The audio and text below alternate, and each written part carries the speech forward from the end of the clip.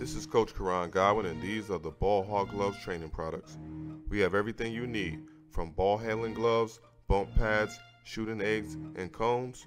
Go to ballhoggloves.com. God first, work until. Nine and a half to play in this first quarter. Utah three for three.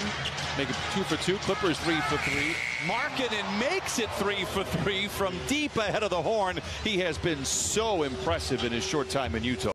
Defensive team put up 130 points. Lakers at the time are a top three defensive team.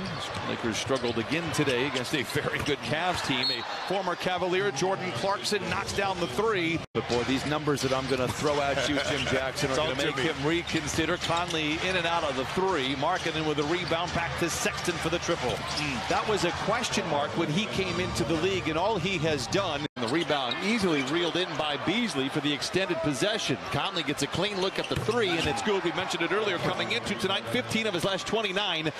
Perhaps now just playing and getting the results. Markkanen strong drive on George. What a finish for Markkanen, and he lays it and counted on a foul. Our 1A player is not there, and that solidifies your status in the league. Markkanen wow. with a graceful glide into the rim and lays it in.